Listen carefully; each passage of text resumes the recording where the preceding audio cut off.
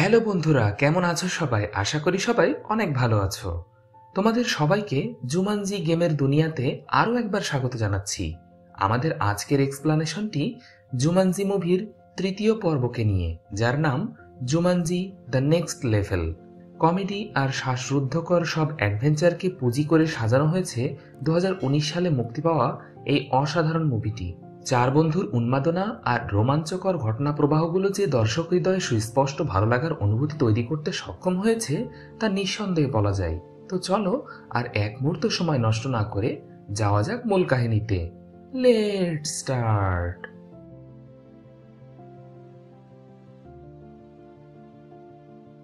এই সিনেমার শুরুতে দু হাজার উনিশ সালের ঘটনা প্রবাহ দেখানো হয়, যেখানে বেথনি তার অন্য তিন বন্ধু, অর্থাৎ মার্থা, ফ্রিজ এবং স্পেন্সারকে নেক্সট বড়দিনের ছুটিতে মিট করার জন্য গ্রুপ চ্যাটিংয়ে ইনভাইট জানায়।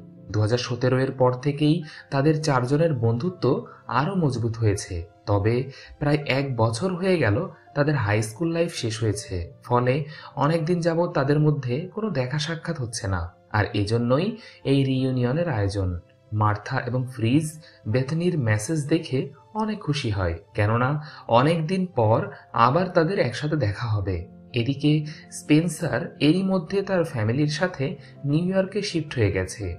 সে ওখানে গিয়ে নতুন করে পড়াশোনা শুরু করেছে। এর পাশাপাশি সে একটা সুপার শপে পার্ট টাইম জব করছে। তবে এখানে স্পেন্সারের কোনো ভালো বন্ধু না থাকায় তার সময় খুব একটা ভালো কাটছিল না।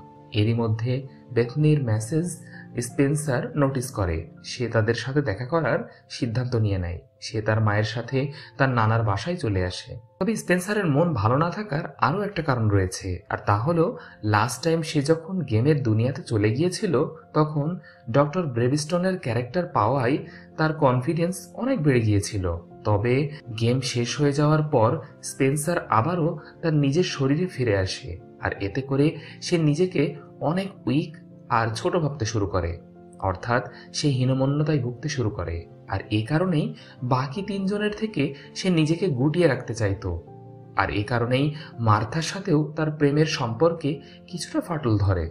যাই হোক, স্পেন্সারের নানা অ্যাডওয়ার্ড এডি এই সময় বাসার টুকিটাকি কাজ করছিল।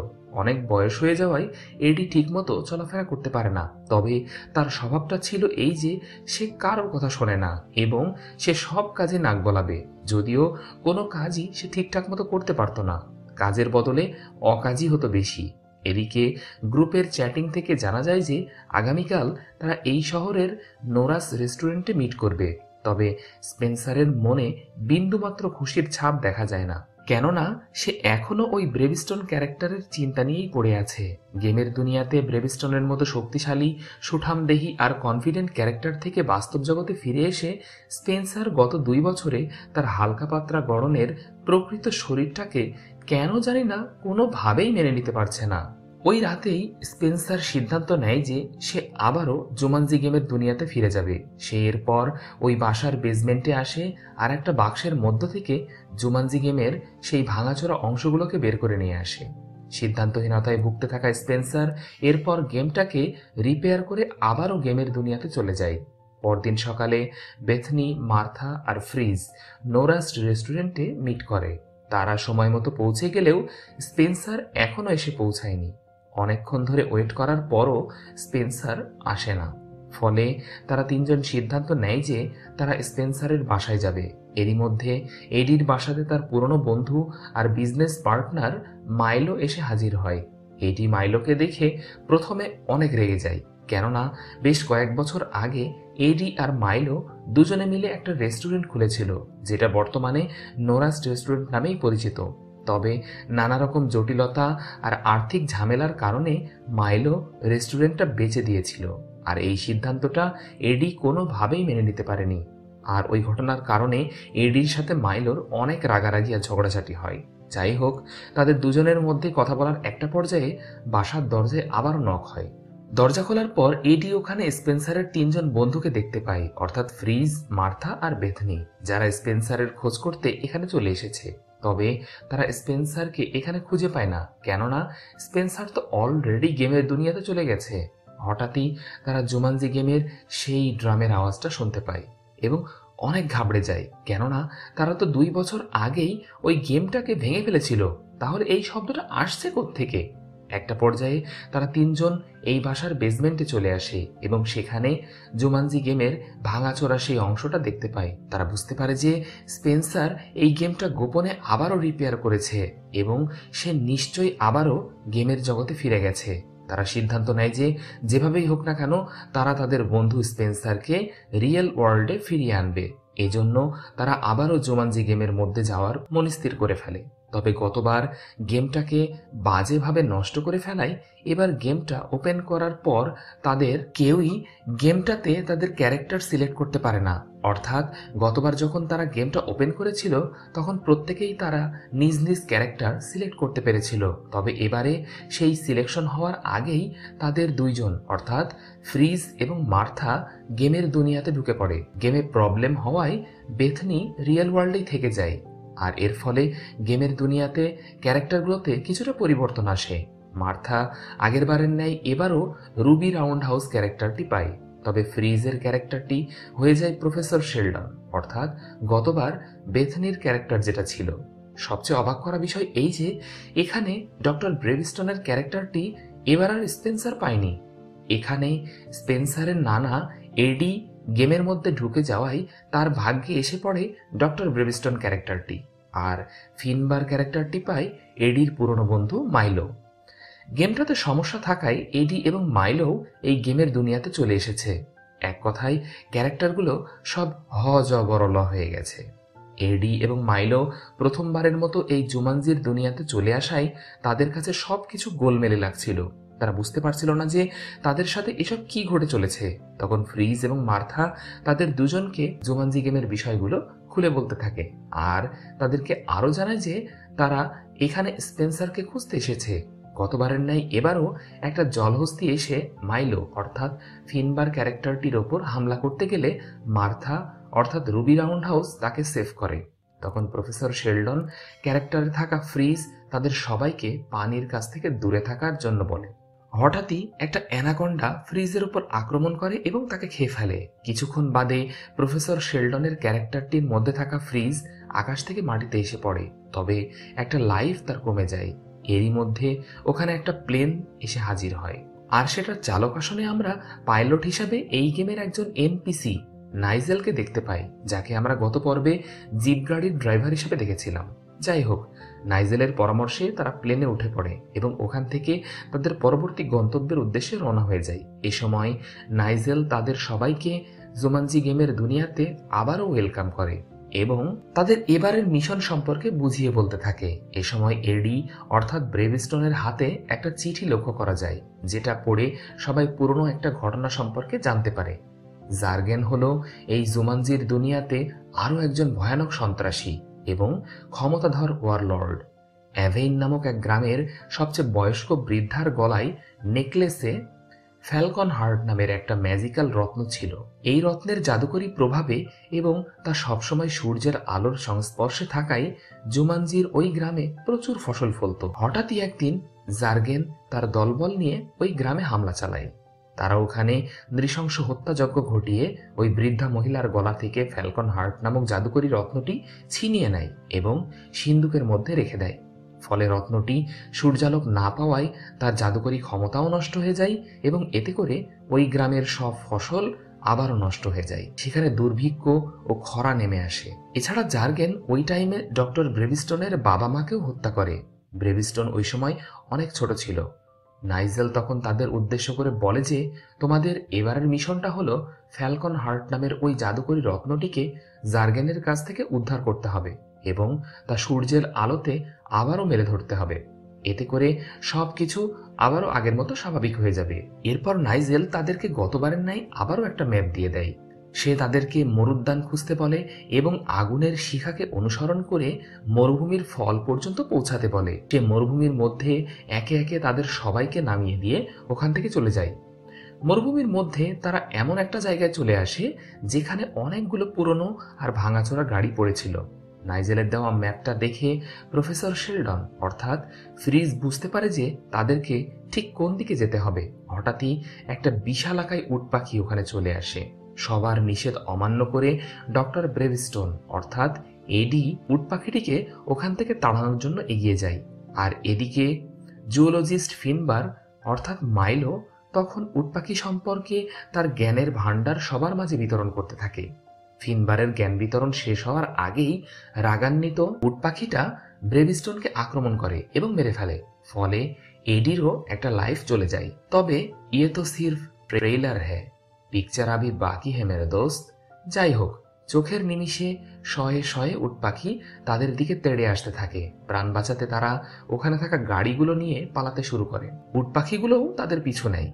সিনেমার এই অংশের প্রতিটি মুহূর্ত ছিল অত্যন্ত আকর্ষণীয় এবং শ্বাসরুদ্ধকর। একটা পর্যায়ে তাদের একটা গাড়ি মরুভূমির বালিতে আবারও উল্টে যায়। তারা চারজনই এরপর একই গাড়িতে উঠে বসে। দেখতে দেখতে তারা পাহাড়ি খাদের কাছে চলে আসে। ঠিক তখনই উট পাখিদের হাত থেকে প্রাণে বাঁচতে তারা ওখানে থাকা একটা পাথরের ঢালের উপর দিয়ে প্রচণ্ড স্পিডে গাড়ি চালিয়ে পাহাড়ের অপর প্রান্তে চলে আসে। ফলে এ যাত্রায় তারা সবাই প্রাণে বেঁচে যায়।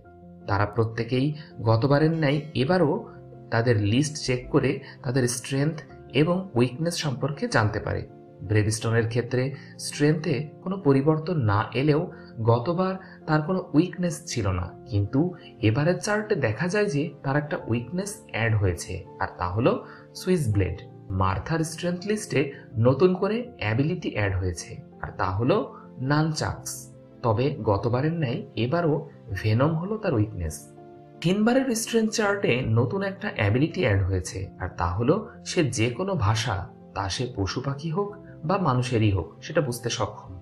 তবে তার উইকনেসগুলো গতবারের ন্যায় অপরিবর্তিত রয়েছে। প্রফেসর শেলডনের ক্ষেত্রে বেশ কিছু পরিবর্তন লক্ষণীয়। তার স্ট্রেংথ পয়েন্টে জিওমেট্রি যোগ হয়েছে, আর গতবার তার উইকনেস ছিল যে সে খুবই অধৈর্য। এবার সেটার পাশাপাশি উইকনেস হিসাবে তাপ, বালি এবং সূর্য নতুন করে যোগ হয়েছে। তারা এরপর ম্যাপের দিক নির্দেশনা অনুসরণ করে সামনের দিকে এগিয়ে যায়। দেখতে দেখতে সন্ধ্যা নেমে আসে, তারা মরুভূমির অপর প্রান্তে দূরে একটা শহর দেখতে পায় এবং সেদিকে রওনা দেয়। দৃশ্যপট পরিবর্তন হলে আমাদেরকে রিয়েল ওয়ার্ল্ডে বেথনিকে দেখানো হয়। সে গেমসে ঢুকতে না পারায় সাহায্যের জন্য অ্যালেক্সের বাসাতে চলে আসে। অ্যালেক্স হলো সেই ব্যক্তি যে এই সিনেমার দ্বিতীয় পর্বে একুশ বছরের জন্য জুমানজি গেমের দুনিয়াতে আটকে গিয়েছিল। তাই জুমানজির দুনিয়া সম্পর্কে অ্যালেক্সের থেকে ভালো আর কেউই জানে না। বেথনির মুখ থেকে সবকিছু জানার পর অ্যালেক্স তাকে সাহায্য করার প্রতিশ্রুতি দেয়। কেননা, এই বেথনেই তাকে গত পর্বে একটা লাইভ দিয়ে বাঁচিয়ে দিয়েছিল। যাই হোক, ওদিকে গেমের দুনিয়াতে তারা চারজন, অর্থাৎ মার্থা, ফ্রিজ, মাইলো এবং এডি, ওই শহরে এসে পৌঁছায়। জার্গেনের পোষা হায়নাগুলোকে দেখে তারা বুঝতে পারে যে জার্গেন হয়তো আশেপাশেই কোথাও আছে। কিছুক্ষণের মধ্যে জার্গেন এবং তার সাঙ্গপাঙ্গদের দেখা মেলে। ওখানে সেই সিন্দুকটাকেও দেখতে পাওয়া যায়, যার মধ্যে ফ্যালকন হার্ট নামক রত্নটি সুরক্ষিত রয়েছে। হঠাৎই সেখানে লাইট অফ হয়ে যায় আর অন্ধকারের মধ্যে কেউ একজন ওই সিন্দুকটার চাবি চুরি করে নিয়ে পালাতে থাকে। ব্রেভিস্টন এই সময় ওই চোরকে ধরে ফেলে এবং জার্গেনের হাতে তুলে দেয়। মূলত এই চোরটি ছিল এই গেমের নতুন আরেকটি ফিমেল ক্যারেক্টার, যার নাম মিং। কিছুক্ষণের মধ্যে এটা স্পষ্ট হওয়া যায় যে এই মিং হলো বাস্তব জগতের স্পেন্সার জার্গেন এ সময় চুরির অপরাধে মিংকে মেরে ফেলে। কিছুক্ষণের মধ্যেই মিং, অর্থাৎ স্পেন্সার তার নতুন লাইফ নিয়ে আকাশ থেকে মাটিতে এসে পড়ে। সে বাকিদেরকে ওখানে দেখে কিছুটা বিরক্ত হয়েই জিজ্ঞাসা করে যে, তোমরা এখানে কেন এসেছ? আর ব্রেভিস্টোনকে, অর্থাৎ এডিকে উদ্দেশ্য করে বলে যে, তুমি এটা কি করলে? তুমি আজকে না আটকালে আমি তো সিন্ধুকের চাবিটা প্রায় চুরি করেই ফেলেছিলাম। তোমার জন্যই সব প্ল্যান ভেস্তে গেল। এই সময় স্পেন্সার অর্থাৎ মিং এর স্ট্রেংথ লিস্ট থেকে জানা যায় যে সে সব ধরনের চুরি করতে সিদ্ধহস্ত, তবে তার উইকনেস হলো পোলেন কথাবার্তার একটা পর্যায়ে ওখানে লাল পোশাক পরা একটা সুন্দরী রমণী চলে আসে এবং ব্রেভিস্টনকে আলিঙ্গন করে। মূলত জুমানজির দুনিয়াতে ব্রেভিস্টন ছিল এই মহিলার এক্স বয়ফ্রেন্ড যার বর্তমানে অন্য একজনের সাথে বিয়ে হয়ে গেছে। আর ওই রমণীর হাজব্যান্ড ছিল সেই সুইস ব্লেড, যে ছিল ব্রেভিস্টোনের একমাত্র দুর্বলতা বা উইকনেস। এই সুন্দরী রমণী তাদেরকে জানায় যে জার্গেন তার গোপন সিন্দুকটা নিয়ে এখনই কেল্লার দিকে রওনা হবে। সেখানে ব্রাদার খাবাবিক নামের এক ব্যক্তির সাথে ওই জাদুকরি ফ্যালকন হার্ট রত্নটি নিয়ে ব্যবসায়িক চুক্তি করারও প্ল্যান তার রয়েছে। তাই, যেভাবেই হোক না কেন, এই ডিল হওয়ার আগেই তাদেরকে ফ্যালকন হার্ট নামক রত্নটি উদ্ধার করতেই হবে। না হলে অনেক বড় বিপদ হয়ে যাবে।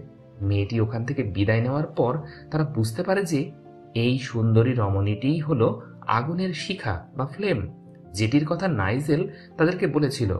আর এই রমণীকে অনুসরণ করলেই মরুভূমির ফল, অর্থাৎ ডেজার্ট ফ্রুট পর্যন্ত পৌঁছানো যাবে। মার্থা এবং ফ্রিজ মেয়েটিকে অনুসরণ করে। তারা এমন একটা জায়গাতে এসে পৌঁছায় যেখানে অদ্ভুত সবুজ রঙের আলোক ছটাযুক্ত জলাশয় রয়েছে। আর এই জলাশয়ের মাঝখানে একটা গাছও রয়েছে, যেখানে তারা সেই ডেজার্ট ফ্রুটটা দেখতে পায়। মূলত এই গাছটি হলো জুমানজি বেরি ট্রি যেটির ফল এবং বীজ তাদের বিপদে কাজে আসবে। যাই হোক, অন্যদিকে মাইলো এবং স্পেন্সার অর্থাৎ এই জুমানজির দুনিয়াতে যারা ফিনবার এবং মিং উট চুরি করার উদ্দেশ্যে তারা একটা জায়গায় এসে পৌঁছায়। কেননা এই মরুভূমির বিস্তর পথ অতিক্রম করতে হলে তাদের উটের প্রয়োজন পড়বে। এ সময় তারা এডিকে, অর্থাৎ ব্রেভস্টোনকে বাইরে নজরদারি করতে বলে। যাতে করে সেই সুযোগে মিং খুব সহজেই উটচুরি করে বের হয়ে আসতে পারে। ওদিকে মার্থা, অর্থাৎ রুবি রাউন্ড হাউস অত্যন্ত সুকৌশলে আর সতর্কতার সাথে ডেজার্ট ফ্রুটের কাছে পৌঁছে যায়। এই সময় সে জলাশয়ের পানি স্পর্শ করে না, কেননা সে ভেবেছিল যে হয়তো এই জলাধারে বিষাক্ত কিছু, এমনকি বিদ্যুৎও থাকতে পারে। এত সতর্কতার পরেও সে একটা ডাল ভেঙে ওই জলাশয়ের মধ্যে পড়ে যায়। প্রফেসর শেলডন, অর্থাৎ ফ্রিজ, এতে ভয় পেয়ে গেলেও লক্ষ্য করে যে মার্থার কিছুই হয়নি। সে একদম স্বাভাবিক রয়েছে। তবে জলাশয় থেকে উঠে আসার সময় উভয়ের হাতের স্পর্শে তাদের শরীরে বিদ্যুতের মতো একটা ঝটকা লাগে। আর একই সাথে এই গেমে তাদের ক্যারেক্টার অদল বদল হয়ে যায়। অর্থাৎ মার্থার শরীরটা চলে যায় প্রফেসর শেলডনের মধ্যে আর ফ্রেজ চলে আসে রুবি রাউন্ড হাউস শরীরের মধ্যে। ফ্রেজ, রুবি রাউন্ড হাউসদের শরীরটা পেয়ে যাওয়ায় প্রথম দিকে অনেক খুশি হয়ে যায়। কেননা রুবি রাউন্ড হাউসের ক্যারেক্টারটাতে শক্তিশালী অনেক বৈশিষ্ট্য লক্ষ্য করা যায়, যেটি প্রফেসর শেলডন ক্যারেক্টারের মধ্যে ছিল না।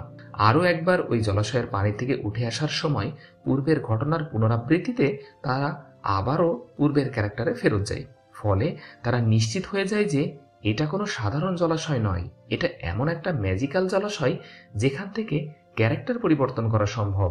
অন্যদিকে বাইরে পাহারারত অবস্থায় এডি অর্থাৎ ডক্টর ব্রেভিস্টন বেশ কিছু লোকের সাথে ঝামেলায় জড়িয়ে পড়ে। যেহেতু এডির অর্থাৎ স্পেন্সারের নানার স্বভাব ছিল যে সব কাজে নাক গলানো, তাই এখানে সে ব্রেভিস্টন ক্যারেক্টারের শক্তিশালী ক্ষমতাকে কাজে লাগিয়ে সবাইকে মেরে তক্তা বানিয়ে ফেলে। হঠাৎই সেখানে আবির্ভাব ঘটে সুইস ব্লেডের, যে ছিল ব্রেভিস্টনের একমাত্র দুর্বলতা। এরই মধ্যে স্পেন্সার এবং মাইলো উট চুরি করে ওখান থেকে বেরিয়ে আসে। এডি তাদেরকে বলে যে, তোমরা উট নিয়ে সামনের দিকে এগোতে থাকো, আমি বাকি শয়তানগুলোকে মেরে তারপর আসছি। এ সময় স্পেন্সার অর্থাৎ মিং এডিকে বারবার করে এখানে থাকতে বারণ করছিল। যদিও এডি ছিল একগুয়ে আর নাছড় বান্দা। আর এই বোকামির দরুন এখানে সুইস ব্লেডের ছুড়ে দেওয়া মিসাইলের আঘাতে তারা তিনজনই মারা যায়। অর্থাৎ তাদের সবারই আরও একটি করে লাইফ কমে যায়। মাইলো এবং স্পেন্সার এডির এমন বোকামিতে অনেক রেগে যায়। কেননা, কথায় আছে, বেশি বুঝা পাবলিক সব জায়গাতেই ঝামেলা পাকায়। যাই হোক, উটের পিঠে করে তারা তাদের পরবর্তী গন্তব্যের দিকে যাত্রা করে। পথিমধ্যে ব্রেভস্টোন অর্থাৎ এডির সাথে ফিনবার, অর্থাৎ মাইলোর আবারও সেই রেস্টুরেন্টের বিষয় নিয়ে তর্কাতর্কি শুরু হয়ে যায়। একটা পর্যায়ে এডি তাকে একটা ঘুষি মারলে মাইলো একটা পাথরের সাথে যে ধাক্কা খায়। দুর্ভাগ্যবশত ওখানে একটা বড় পাথরের নিচে চাপা পড়ে মাইলোর আরও একটি প্রাণ চলে যায়। তারা বুঝতে পারে যে এভাবে মাথা গরম করে কোনো কাজ করলে চলবে না। তাদের সবাইকে মিলিতভাবে কাজ করে এই গেমের মিশনটা কমপ্লিট করতে হবে। দেখতে দেখতে তারা এমন একটা স্থানে এসে পৌঁছায় যেখান থেকে ঝুলন্ত ব্রিজ ব্যবহার করে তাদেরকে অপর পাশে পৌঁছাতে হবে। এ সময় প্রফেসর শেলডন অর্থাৎ ফ্রিজ তাদেরকে তার জ্যামিতিক দক্ষতা কাজে লাগিয়ে কীভাবে এই ভয়ঙ্কর ঝুলন্ত ব্রিজগুলো পার করে নিরাপদে অপর প্রান্তে পৌঁছানো যাবে সে বিষয়ে সবাইকে বলতে থাকে। মিস্টার মোড়ল অর্থাৎ আমাদের এডি আগে ভাগেই ঝুলন্ত ব্রিজে চড়ে বসে। হঠাৎই ওখানে ঝাঁকে ঝাঁকে বেবুন নামক প্রাণীর আবির্ভাব ঘটে, যেগুলো স্পেন্সার সহ বাকি সবাইকে আক্রমণ করে এবং এই ব্রিজ থেকে তাদেরকে নিচে ফেলে দেওয়ার চেষ্টা করতে থাকে। এ সময় একটা বেবুন মার্থাকে ব্রিজ থেকে নিচে ফেলে দেয়, ফলে মার্থার আরও একটা লাইফ কমে যায়। অনেক কষ্টে তারা সবাই শেষমেশ ব্রিজ পেরিয়ে অন্য প্রান্তে এসে পৌঁছায়। সব বেবুনগুলো এরই মধ্যে চারিদিক থেকে তাদেরকে ঘিরে ধরে। এই শ্বাসরুদ্ধকর মোমেন্টে আগমন ঘটে অ্যালেক্সের। যে একটা ঘোড়ায় করে দ্রুত ওখানে চলে এসে বেবুনগুলোকে ওখান থেকে তাড়াতে সক্ষম হয়। মজার বিষয় হলো এই যে অ্যালেক্স যে ঘোড়ায় চড়ে এখানে এসেছে, এটি আর কেউ নয়, এটি হলো বেথনি। অর্থাৎ এইবার বেথনি গেমের দুনিয়াতে ঘোড়ার ক্যারেক্টারটা পেয়েছে। আর এরপর সবাই মিলে গেমটা কমপ্লিট করার জন্য তাদের প্ল্যানিং নিয়ে আলোচনা করতে থাকে। এখানে এডি এবং মাইলোর কথোপকথন থেকে একটা শকিং নিউজ জানা যায়, আর তা হলো, বাস্তব দুনিয়াতে মাইলো দুরারোগ্য ক্যান্সারে আক্রান্ত, তাই সে হয়তো আর বেশি দিন বাঁচবে না। আর এজন্যই সে এত বছর পর আবারও এডির সাথে দেখা করতে আর তাকে তার কৃতকর্মের জন্য সরি বলতে সেদিন তার বাসাতে গিয়েছিল। এদিকে অ্যালেক্স বাদে বাকি সবার আর মাত্র একটি করে লাইফ অবশিষ্ট থাকায় তাদের জন্য গেমের মিশনটা কমপ্লিট করা অনেক কঠিন হয়ে পড়েছে। তখনই তারা তাদের সামনে একটা বিশাল জলাধার দেখতে পায়। ফ্রিজ এবং মার্থা এই জলাধারেও আগের জলাশয়টির ন্যায় অদ্ভুত সবুজ রঙের পানি দেখে নিশ্চিত হয়ে যায় যে তাদেরকে এখন জুমানজি গেমের এই মিশনটা কমপ্লিট করতে হলে জুমানজি মুভির দ্বিতীয় পর্বে তারা যে যে ক্যারেক্টারে ছিল, সেই সেই ক্যারেক্টারে তাদেরকে ফিরে যেতে হবে। অবশেষে বেথনি সহ তারা সবাই ওই জলাশয়ের পানিতে ঝাঁপ দেয়। ফলে তারা গত পর্বের ন্যায় আবারও তাদের নিজস্ব ক্যারেক্টারে ফিরে আসে। তবে মাইলো এখানে ঘোড়ার ক্যারেক্টারটি পেয়ে যায়। আবার স্পেন্সারের নানা, অর্থাৎ এডি, চলে আসে মিং এর শরীরে। তারা ওই রাতটা একটা জঙ্গলের গুহাতে কাটিয়ে দেয়। পরদিন সকালে মাইলো এবং এডিকে জার্গেনের দলবল আটক করে ধরে নিয়ে যায়। দূর থেকে অ্যালেক্স ঘটনাটা প্রত্যক্ষ করে। সে দ্রুত বাকিদেরকে বিষয়টা জানায়। তারা আর দেরি না করে জার্গেনের কেল্লার উদ্দেশ্যে রওনা হয়ে যায়। এখানে স্পেন্সার ও মার্থা বরফের চূড়া বেয়ে কেল্লার ভিতরে ঢোকার সিদ্ধান্ত নেয়। আর বাকি তিনজন, অর্থাৎ অ্যালেক্স, ফ্রিজ এবং বেথনি, কেল্লার মূল ফটক ব্যবহার করে ভেতরে যাওয়ার প্ল্যান করে। অ্যালেক্স এখানে শত্রুপক্ষের দলের মধ্যে মিশে গিয়ে অনায়াসে কেল্লার মধ্যে ঢুকে পড়লেও বেথনি এবং ফ্রিজ মূল ফটকে পাহারারত প্রহরীদের প্রশ্নের মুখে বাধা পড়ে। তারা সেখানে নিজেদেরকে ব্রাদার খাবাবিক বলে পরিচয় দেয়। ফলে জার্গেনের সৈন্যরা ফ্রিজ আর বেথনিকে নিয়ে ভেতরে যায়। কেননা জার্গেনের সাথে এই কেল্লার মধ্যেই ব্রাদার খাবাবিকের আলোচনা হওয়ার কথা রয়েছে। অপরদিকে অ্যালেক্স মাইলোকে উদ্ধার করতে জায়গা মতো পৌঁছে যায়। মাইলোকে যেখানে আটকে রাখা হয়েছিল, সেখানে অনেক ধরনের মারণঘাতী ফাঁদ ছিল। ফলে অনেক সতর্ক হওয়া সত্ত্বেও একে একে অ্যালেক্সের দুইটা লাইফ এখানে নষ্ট হয়ে যায়। এখন অন্যান্যদের মতো তারও আর একটাই লাইফ অবশিষ্ট রয়েছে। অ্যালেক্স শেষমেশ পূর্বের অভিজ্ঞতা আর বুদ্ধিকে কাজে লাগিয়ে মাইলোকে উদ্ধার করতে সক্ষম হয়। অন্যদিকে বরফের পাহাড় বেয়ে কেল্লার পিছনের দিক দিয়ে কেল্লার ভেতরে ঢুকে পড়তে সক্ষম হয় আমাদের স্পেন্সার এবং মার্থা। তারা ওখানে একটা সেলের মধ্য থেকে এডিকে উদ্ধার করে। তারা তিনজন সেখানে সেই সিন্দুকটাও দেখতে পায়। এডিকে এরপর দায়িত্ব দেওয়া হয় ওই সিন্দুক থেকে ফ্যালকন হার্ট নামক রত্নটি উদ্ধার করে আনার জন্য। এডি অর্থাৎ মিং, এই গেমে চুরি করতে আর সিন্দুক খুলতে অত্যন্ত দক্ষ হওয়ায় তাকেই এই গুরু দায়িত্বটা দেওয়া হয়। একটা পর্যায়ে এডি সিন্দুকটা খুলে ফেলতে সক্ষম হয়। তবে ফ্যালকন হার্ট নামক ওই জেমটি ওখানে রাখা ছিল না। ততক্ষণে বেথনি আর ফ্রিজকে জার্গেনের সামনে হাজির করা হয়। তারা লক্ষ্য করে যে ফ্যালকন হার্ট নামক ওই রত্নটা জার্গেনের গলার লকেটে রয়েছে। জার্গেনের সাথে তারা ওই ফ্যালকন জেমের বিষয়ে কথা বলতে শুরু করে। এ সময় জার্গেনের কথা থেকে জানা যায় যে, ব্রাদার খাবাবিকের বোনের সাথে জার্গেনের বিয়ে হওয়ার কথা রয়েছে। ব্যাপারটা বুঝতে পেরে ফ্রিজ এবং বেথনি জার্গেনকে বলে যে, তাদের বোন বিয়ের জন্য সাজগোজ করছে। আর এজন্যই তার এখানে আসতে কিছুটা দেরি হচ্ছে। তখনই ওখানে মার্থা চলে আসে আর নিজেকে ব্রাদার খাবাবিকের বোন বলে সকলের সামনে পরিচয় দেয়। মার্থা এ সময় কৌশলে জার্গেনের গলা থেকে ওই জাদুকরি পাথরটা নিতেই যাবে, ঠিক তখনই খবর আসে যে ব্রাদার খাবাবিক এখনও কেল্লাতে এসে পৌঁছায়নি আর তার এখানে আসতে এখনও দেরি হবে। বার্তাবাহকের এমন সংবাদে জার্গেন বুঝে যায় যে এরা আসল লোক নয় এবং এরা সবাই নকল। এরা এখানে পাথরটাকে চুরি করতে এসেছে। এ সময় জার্গেনের দলবলের সাথে মার্থাদের মারামারি শুরু হয়ে যায়। স্পেন্সারও ওখানে চলে আসে। মারামারির একটা পর্যায়ে স্পেন্সারের পকেটে থাকা ওই জুমানজি বেরি ফ্রুটটা বেরিয়ে আসে। আর এটা দেখা মাত্রই জার্গেন ঘাবড়ে যায়। সে ওখান থেকে পালাতে থাকে। এটা থেকে স্পষ্ট বোঝা যায় যে এই জুমানজি বেরিটা হলো জার্গেনের উইক পয়েন্ট। এ সময় রেডিওতে বাজানো মিউজিকের সাথে তাল মিলিয়ে মার্থা, অর্থাৎ রুবি রাউন্ড হাউস শত্রুপক্ষের সৈন্যদেরকে একে একে ঘায়াল করতে থাকে। ওদিকে জার্গেন কেল্লার বাইরে থাকা একটা গ্যাস বেলুনে চড়ে ওখান থেকে পালাতে থাকে। তবে কৌশলে স্পেন্সার একটা দড়ির সাহায্যে ওই গ্যাস বেলুনে উঠে পড়ে এবং ওই জোমানজি বেরিটা জার্গেনের শরীরে লাগিয়ে দেয়। তখনই লক্ষ্য করা যায়, জার্গেনের একমাত্র উইকনেস হলো দ্য জুমানজি বেরি। এ সময় জার্গেনের গলার লকেটে থাকা ওই ফ্যালকন হার্ট নামক রত্নটি কেড়ে নিতে সক্ষম হয় ব্রেভিস্টন, অর্থাৎ স্পেন্সার। এ সময় গ্যাস বেলুন থেকে নিচে পড়ে গিয়ে জার্গেনের মৃত্যু ঘটে। তবে স্পেন্সার তখনও পুরোপুরিভাবে বিপদমুক্ত হয়নি। স্পেন্সারকে বিপদের হাত থেকে বাঁচাতে এ সময় এডি মাইলোর পিঠে চড়ে দ্রুত এগোতে থাকে এবং সবাইকে অবাক করে দিয়ে মাইলো, অর্থাৎ ঘোড়াটি উড়তে শুরু করে। অবশেষে স্পেন্সার এডির হাতে ফ্যালকন হার্ট নামক রত্নটি পৌঁছে দেয়। এডি তখন মাইলোকে নিয়ে মেঘ ভেদ করে উপরে উঠে যায় আর সূর্যের আলোতে ওই জাদুকরি পাথরটিকে মেলে ধরে। সবাই তখন একসাথে চিৎকার করে বলে ওঠে, জুমানজি! আর সাথে সাথেই সব কিছু আবার আগের মতো হয়ে যায়। অর্থাৎ গেমটা তারা ফিনিশ করতে সক্ষম হয়। এরই মধ্যে ওখানে নাইজেল চলে আসে। সবাই একে একে গতবারের ন্যায় নাইজেলের সাথে হ্যান্ডশেক করে বাস্তব দুনিয়াতে ফিরে আসলেও মাইলো, অর্থাৎ সেই ঘোড়াটি স্ব ইচ্ছায় জুমানজির দুনিয়াতে থেকে যায়। বাস্তব জগতে ফিরে আসার পর তারা সবাই আবারও সেই নোরাস রেস্টুরেন্টে একসাথে মিট করে।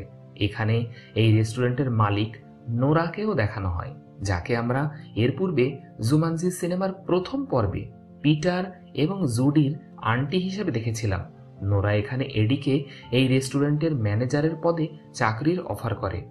এডিও এতে অনেক খুশি হয়। সে নোরার অফারটা সানন্দে গ্রহণ করে। শেষ দৃশ্যে দেখা যায় যে স্পেন্সারের মা একজন মিস্ত্রিকে তাদের বাসাতে নিয়ে আসে। কেননা তাদের বাসার ইলেকট্রিক হিটারটা নষ্ট হয়ে গেছে।